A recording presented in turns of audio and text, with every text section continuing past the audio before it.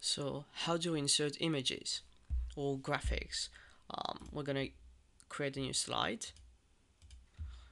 Um, it's going to uh, get the same layout as the slide before.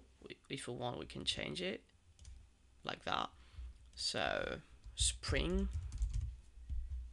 Then click to add text. So this time I don't want to add text. I just want to insert an image. So I can just hover the mouse, insert table, insert chart, insert movie, insert picture. So I can just click on that and then go like that and choose or select um, an image. So I'm going to choose this one. And you've got your image um, inserted. So now we're going to learn how to uh, modify the image, the dimensions, the positions, etc. So as you can see, when I click outside the picture or the image, like that, nothing happens. If I click once, it's going to select it. And how do we know? Where we can see the, I think they are green uh, squares. The green squares means mean that you can uh, redimension um, the image. So if I let the mouse hover like that, it becomes a double arrow and I can just drag wherever I want. The problem with this method is that sometimes when you drag uh, too much to towards one dimension, you've got something like that which is not very um, very pretty. So what we can do is keep the ratio of the the width to height ratio.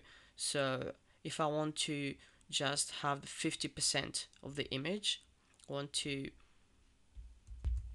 reduce it by 50% what I can do is right click position and size and then keep ratio and just do of 418 as you can see at the same time is going to recalculate the height.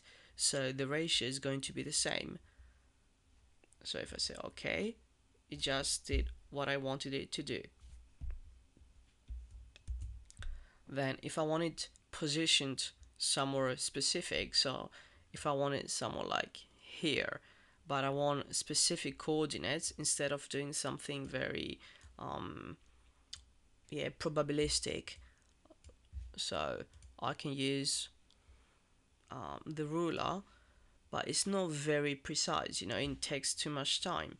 So what I can do view ruler I don't like this ruler. Um, you can say okay click right click position size and then you can um, locate position um, for example the top left corner of the uh, image at a specific xy uh, position. So I'm gonna say I want it to 3 3 as you can see I don't have to um, type the quotes that represent the measurement unit because by default Impress is going to use a specific measurement unit for this um, field so even if I only just type 3 it's going to understand that I mean inches. So this is 3 inches and then 3 inches. So I used as reference point the top left corner of the image or I could have used any um, of the nine other any of the nine um, reference points or base points another thing I can use I can do with an image. So I'm going to follow. Um, I can add text to the image. So if I double click that means twice the left click not the right of course double click on it you see the cursor uh, like that and you just write something and then I click outside and you've got the text in it. So if I don't like it um, you know, uh, being uh, black, whatever, it's not very legible, so readable. So I can just go right click, text, and then change its appearance. I don't want it um in the middle. I want it for example on the top blah blah blah blah blah. You've got text animation. You want it to blink or whatever. Do something like that just in case. I've never used it but at least now you know you can oh okay. So another thing is maybe you want to uh, add a line um, around the image. So right click as always line and then you can add um, I don't know um, ultra fine two dots three dashes and red light red width of the line and whatever you want. And it's going to add something like that. I'm going to zoom a bit. This is one of the things you can do. Um, and then um, another thing is um, you can align. For example if you want it to be on the top and in the middle you can see that it's not very specific because this is not symmetric and plus I did it by hand. Um, so what I can do is just say I was here somewhere yeah. I can right click align and then choose the horizontal and the vertical alignment. So it's going to be centered and it's going to be on the top. So now we've got exactly what we want. As you just saw um, now the image is covering the text. So can see like that. This is the the title. If you want it to be um, under the text you can just um, make it let's say transparent but it's not called transparency here so right click arrange and send to the back. So that means everything else is going to be superposed um, to the image. You can see now we can see the text and of course imagine you've got a slide um, uh, you have received um, an impress uh, presentation and you see the an image like that and you want to save it. Uh, one solution would be to select it and then go edit copy and then open paint. Um, I don't remember exactly I think it's paint. Then you have to paste it and then you have to save it.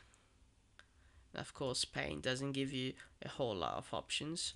And then I have to blah blah blah and so like spring. That takes a lot of time.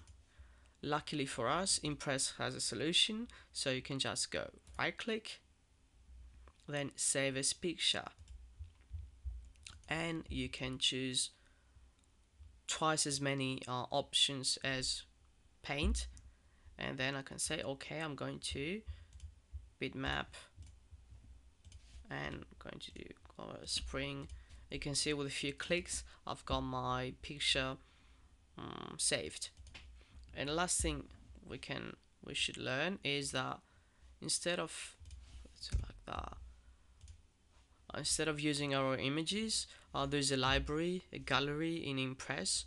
Um, so insert I think it's somewhere.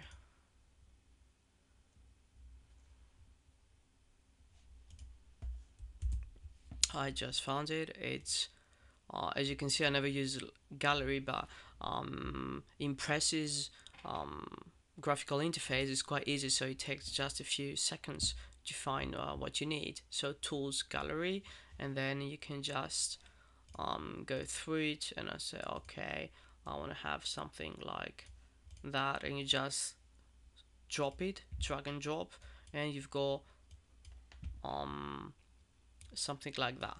So of course if you go um, let's see it if you go to um, the OpenOffice OpenOffice um, web page or you can go to Google directly and type OpenOffice Gallery. Well you can find something like that and clip arts uh, so you've got quite a few things uh, to choose and then you can just uh, um, install them and they're going to appear um, they're going to appear here. So if you go like here it says how to install and you've got all the directions which are quite simple actually. Or you can go install um, Clipart Gallery theme. This is an extension. So an extension is a tiny plugin that you can install um, on or to or whatever in Impress. And the the really cool thing about extensions are is that they can just be installed directly. So instead of doing all that um, says um, download file minimize double click blah blah blah blah blah. The extensions you just do like that. Download extension.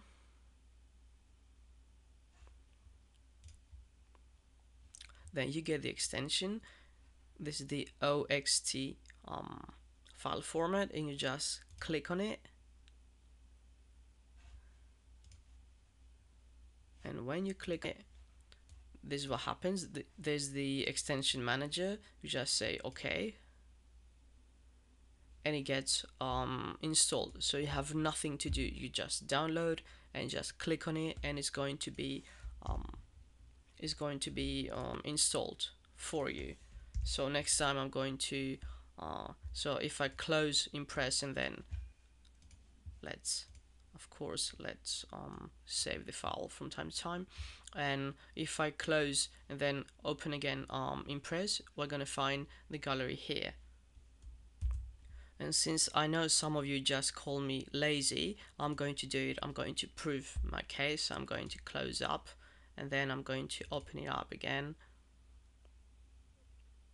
And there you go. You've got the gallery and you've got the new um, clip arts um, uh, added here so you can choose all that. Can see it's really cool. So I just click click click and that's all. And I've got my new uh, clip arts integrated